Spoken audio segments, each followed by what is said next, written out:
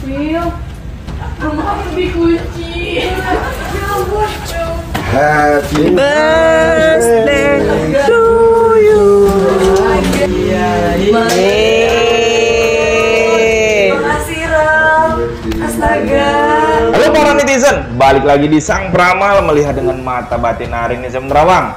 Natasha Wilona dan Ferel Bramasta yang ya, Natasha Wilona yang merupakan cinta sejatinya Ferel Bramasta. Nah, bagaimana isi hati Natasha Wilona yang Ferel Bramasta hadir berikan surprise di hari ulang tahun Natasha Wilona.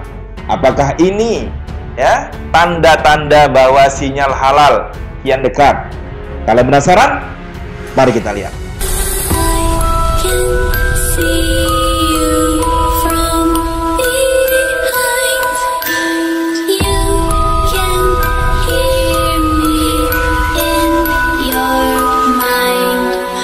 Nah, mari kita lihat banyak orang-orang yang masih meragukan cintanya Feral ke Natasha Wilona hingga Oke Kian besar pula berseliweran di luar sana tentang kedekatan Fel Bramasta dengan sosok wanita lain. Namun, kini ya, sesuai dengan terawangan saya yang lalu bahwa cinta sejati Feral hanyalah Natasha Wilona dan di ulang tahun Natasha Wilona, Feral hadir berikan surprise yang sangat mengejutkan. Dan apakah ini tanda-tanda bahwa sinyal halal Wilfer ini kian dekat sesuai doanya para fans? Nah, bagaimana isi hati Natasha Wilona yang sosok Vera Bramasa masih menomor satukan dirinya? Mari kita lihat. Kartu yang pertama, kartu yang keluar adalah Egg of Cups. Kita lihat di sini ada seorang yang mencari satu cups yang hilang. Ya, ada bulan yang melihatnya. Di atasnya ada kegelapan malam. Nah, saya lihat dengan mata batin saya. Sosok Natasha Wilona sebenarnya hanya menunggu. Ya, menunggu Feral. Oke, yakinkan dirinya untuk bisa bersama selamanya. Dan tak dipungkiri, sosok Natasha Wilona pun tahu ada yang hilang di hatinya ketika jauh dari Feral Bramasta. Kita buka lagi. Kartu kedua, kartu yang keluar adalah di hiropan kita. Lihat di sini ada guru spiritual memberikan wejangan kepada pengikutnya. Tak dipungkiri memang sosok Feral harapkan Natasha Wilona bisa ya, menjadi halal dengan dirinya dalam satu iman dan satu amin. Nah, yang Feral pernah ungkapkan ya sosok Natasha Wilona selalu didoakannya agar bisa eh, terbuka hatinya membersamai Vera Bramasta Oke, sampai Tiljana. Kita buka lagi. Kartu ketiga, kartu yang keluar adalah Egg of Sword. Kita lihat di sini ada seorang yang matanya tertutup dan terikat. Di belakangnya ada delapan buah pedang tak dipungkiri. Ya, memang imbas dari proyek yang berbeda. Vera Bramasta dan Natasha Wilona harus ya berjauhan kemarin-kemarin. Namun, sosok Feral buktikan bahwa Natasha Wilona tetaplah cinta sejatinya dan Feral berikan surprise di hari ulang tahun Natasha Wilona padahal berembus kabar bahwa Feral kemarin eh, sempat habiskan waktu ke Eropa. Oke. Nah, bagaimana isi hati Natasha Wilona melihat sosok Feral yang masih menomor satukan dirinya? Mari kita lihat. Kartu keempat, kartu yang keluar adalah The Lovers. Kita lihat di sini ada pria dan wanita dan ada malaikat yang merestui hubungan mereka. Nah, saya lihat dengan mata batin saya. Masih ada cinta yang sangat besar ya di antara Feral dan Natasha Wilona dan tak dipungkiri sosok Natasha Wilona adalah cinta sejatinya Feral Bramasta dan saya lihat Tuhan pun merestui hubungan ini. Kita buka lagi. Kartu kelima, kartu yang keluar adalah Three of Pentacle. Kita lihat di sini ada seorang yang maha dinding. Ada orang yang melihatnya di atasnya ada tiga buah koin. Saya lihat di sini. Memang Feral harus ya lebih membuktikan jika dia serius untuk ya bisa menjadi ya, sosok imamnya Natasha Wilona dan Feral harapkan agar Natasha Wilona bisa menjadi makmumnya. Kita buka lagi. Kartu keenam kartu yang keluar adalah Four of Wands. Kita lihat di sini ada empat buah tongkat. Berbentuk seperti pintu selamat datang dan ada pria dan wanita mengangkat bunga.